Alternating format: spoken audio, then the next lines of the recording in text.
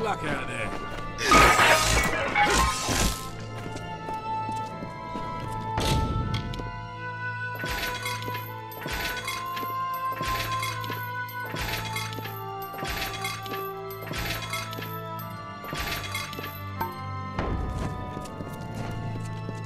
I'm not leaving until I see something I want.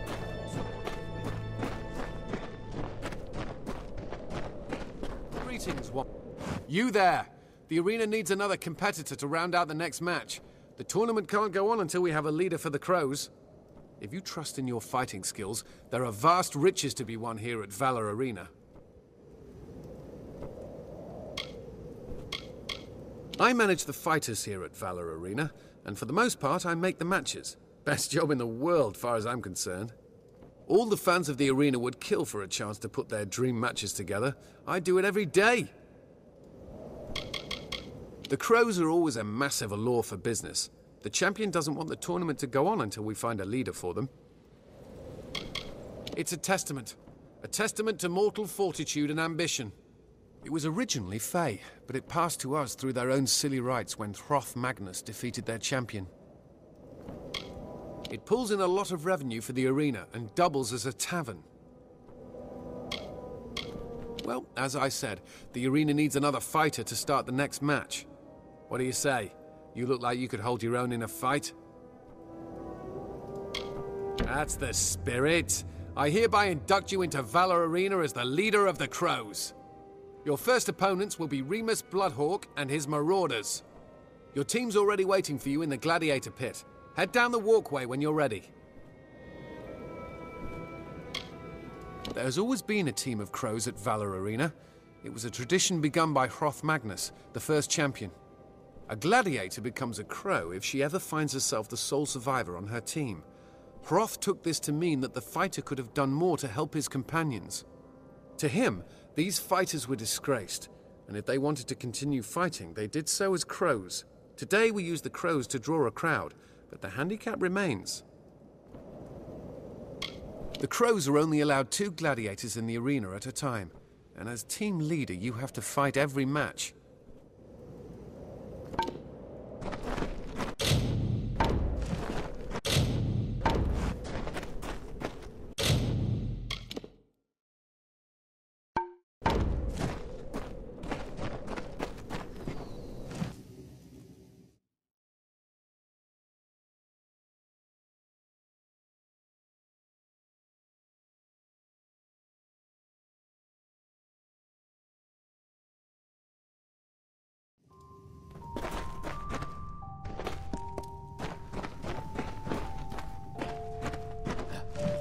Hello, newcomer.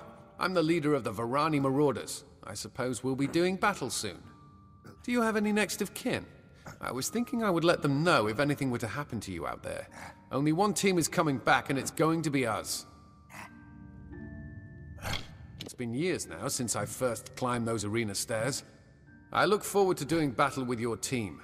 Vigor's been doing this almost as long as I have. He'll do your team no wrong. He and I are among the few who've been here since the first Magnus's time. There's a lot you could learn from him, but I'm getting ahead of myself. You'll have to defeat us first. This place is a warrior's institution. Even a warsworn would hesitate to fight to the death just for the sake of it. We do it gladly and with passion. I wish you good luck, but I don't expect you'll be back. Greetings.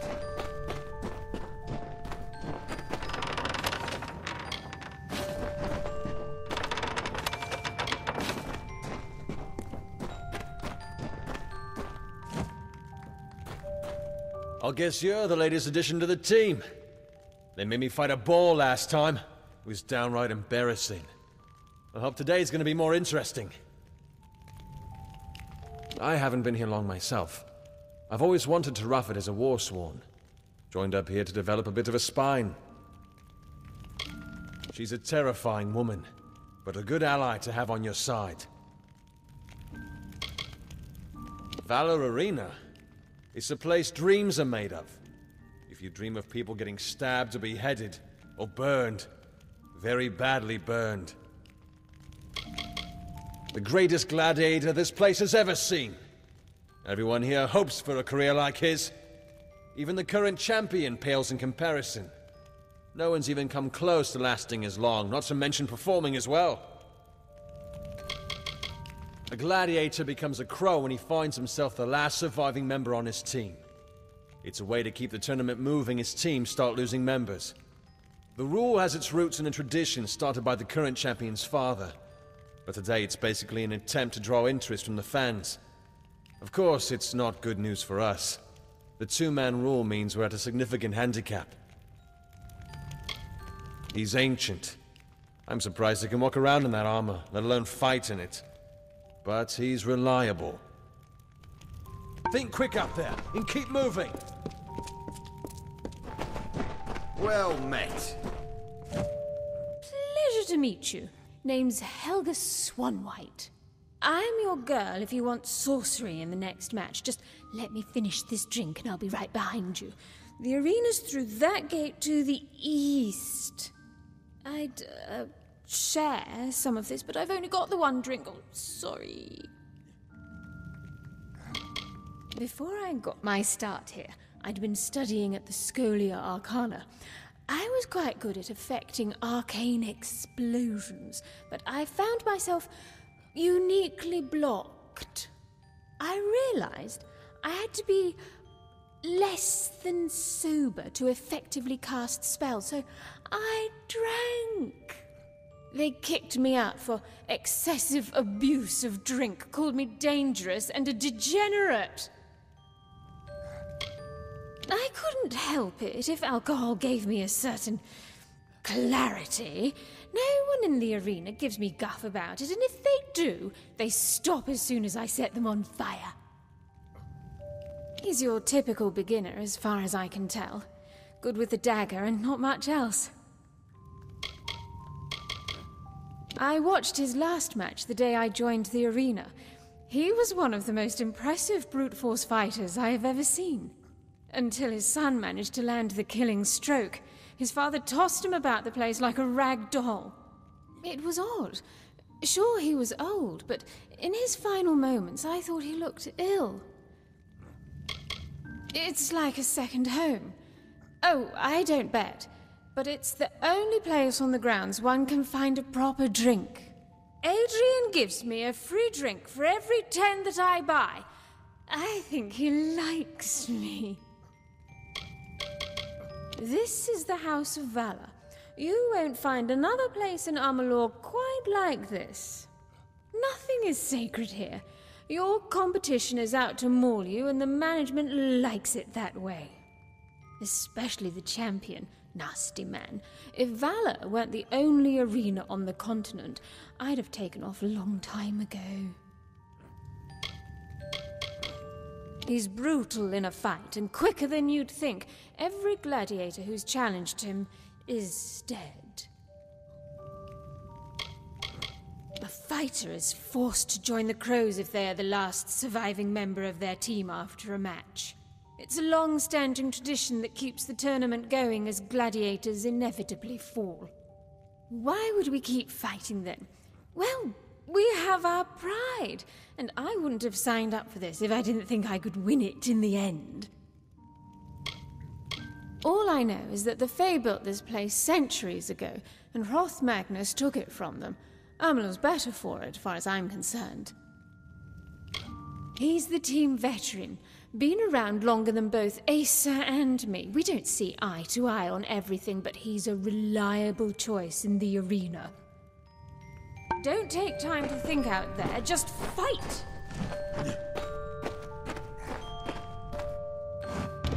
So you're the new leader? You should brace yourself if you haven't already. Fights in Valor Arena are to the death. I look forward to seeing what you can do. Let us know when you're ready. You'll have to decide which of the three of us will fight with you before a match.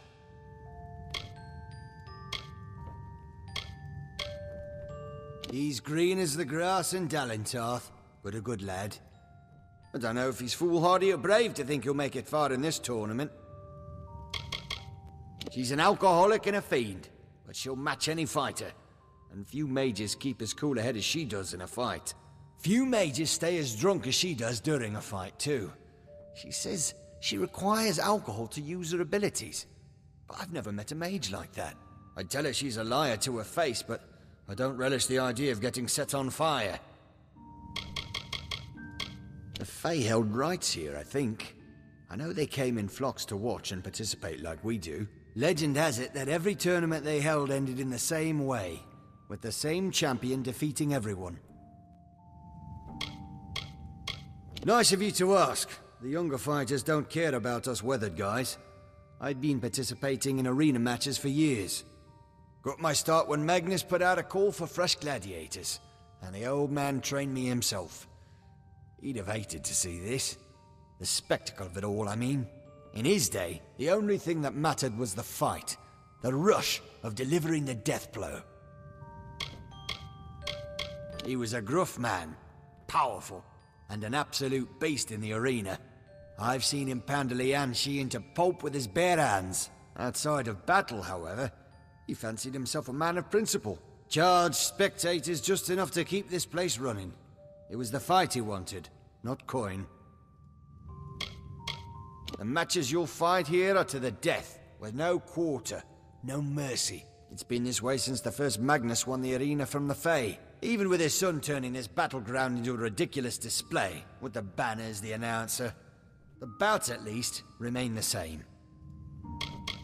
He's a fierce fighter, but he sees himself as a moneymaker first, and a competitor second. He's turned the arena into a spectacle. Let one of us know when you're ready. You will have to decide which of the three of us will fight with you before a match. I'll be here if you need me. I'll leave it to you then. I'll guess you're the latest addition to the team. Then if I die out there, you can have my things. Since you've taken up the mantle of our team leader, you're in charge of picking the team member who goes into battle. As leader, you're also expected to participate in each match. I'm glad it's you. I'm not sure I could handle that kind of responsibility. Let's take the fight to them, Gladiator!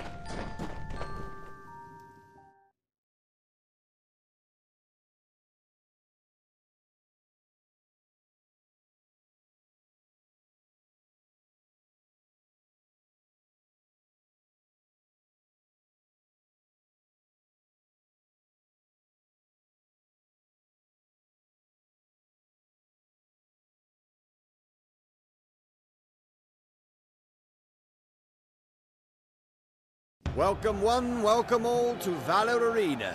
Today we have the Crows, testing their worth against Remus Bloodhawk and his Marauders. Victory here means the entire team moves up in the championship. They'll be on a path to face the Lords of Valor. Have at it, warriors.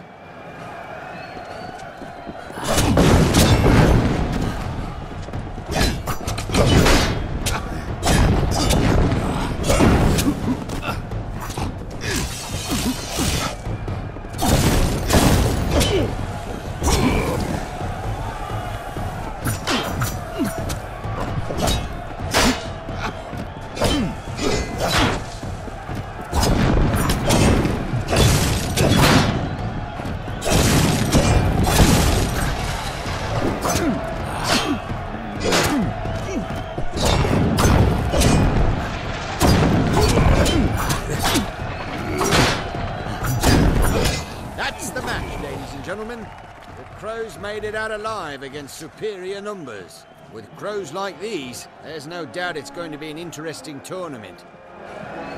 Didn't think I'd make it.